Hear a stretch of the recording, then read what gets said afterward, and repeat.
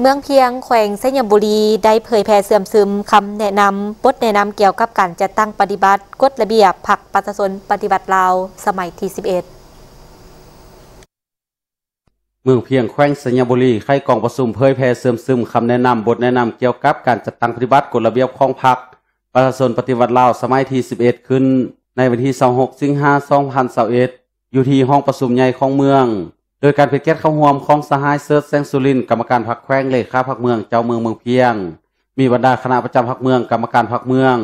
พร้อมโดยประธานกฎการหน่วยพรรคสำนักงงานองค์การกรมกองและบานเทศบาลเข้าร่วมกองประชุมได้รับฟังการเผยแพร่เสื่อมซึม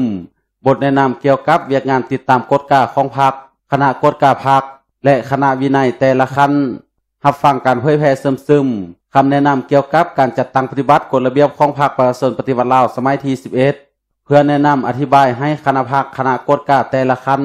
และสมาชิกพรรคได้รับรู้เข้าใจอย่างเลึกซึ้งต่อเนื่อในกฎระเบียบพรรคเพื่อเป็นบนอิงในการเคลื่อนไหวจัดตั้งปฏิบัติเวียกงานติดตามกฎกา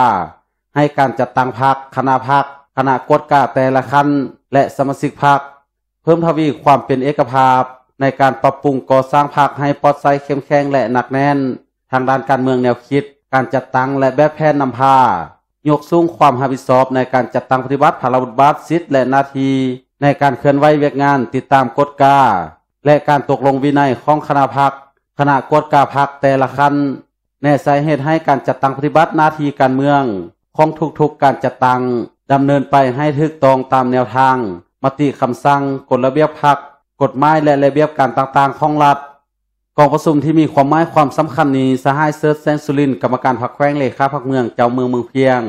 ได้มีคำเห็นโอลมสหายได้เรียกร้องมายังคณะพรรคคณะกฎกาแต่ละคันให้เอาใจใส่ศึกษาโฮมการเมืองแนวคิด ให้เข้าสู่ลงเลิก เข้าถึงแต่ละเป้าหมายและถึกกับสภาพตัวจริง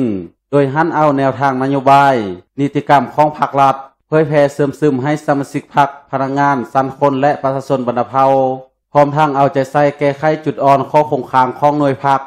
และสมาชิกพักให้มีการหันเปลี่ยนอย่างตั้งหน้า